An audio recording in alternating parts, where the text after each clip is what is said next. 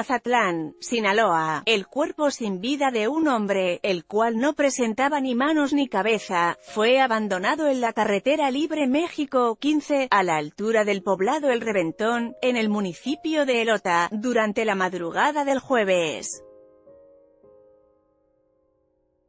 Lea también, hombre amenaza con estallar cilindro de gas debido a que el tramo donde fue dejado el cadáver no tiene mayor iluminación que la que se genera con los faros de los vehículos, los automovilistas no tenían modo de verlo hasta que lo tenían muy cerca.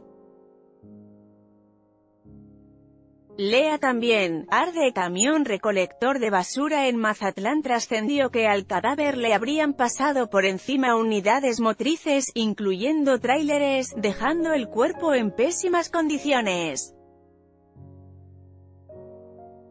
El hallazgo ocurrió a las dos horas en el kilómetro 96 de la rúa mencionada. Fue gracias a las llamadas telefónicas que los automovilistas hicieron a la central de emergencias que las autoridades supieron de este caso.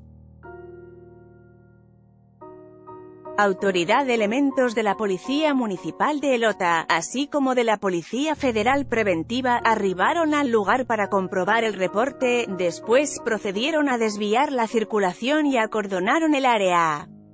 Especialistas del Departamento de Investigación de Criminalística y Servicios Periciales de la zona sur de la Fiscalía General de Justicia del Estado viajaron desde el puerto de Mazatlán para comenzar con las primeras averiguaciones.